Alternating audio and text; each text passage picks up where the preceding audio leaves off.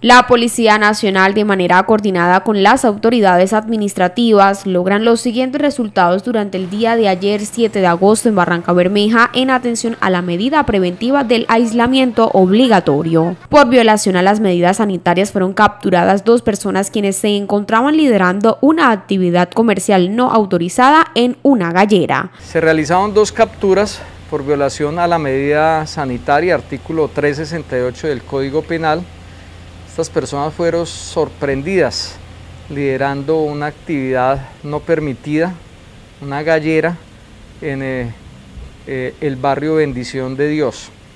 Asimismo se realizó la suspensión de actividad económica de este mismo establecimiento público.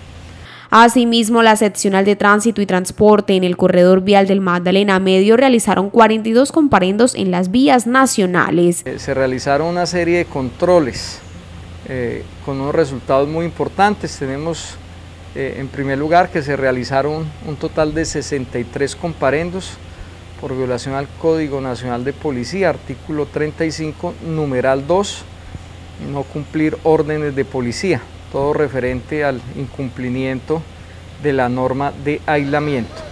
Se recibieron 646 llamadas a la línea de emergencia 123 y fueron atendidos 22 casos de riñas. De esta manera se realizó un cierre de establecimiento comercial en el distrito.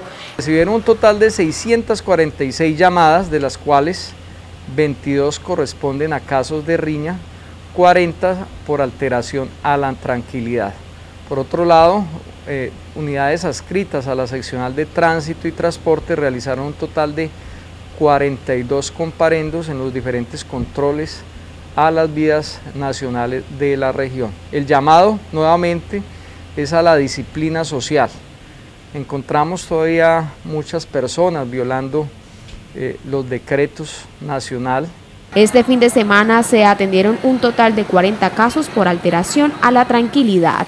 Con estos resultados de operativos, el Departamento de Policía Magdalena Medio demuestra su compromiso en mantener la tranquilidad de los habitantes en la región, invitándolos así a cumplir con cada uno de los decretos.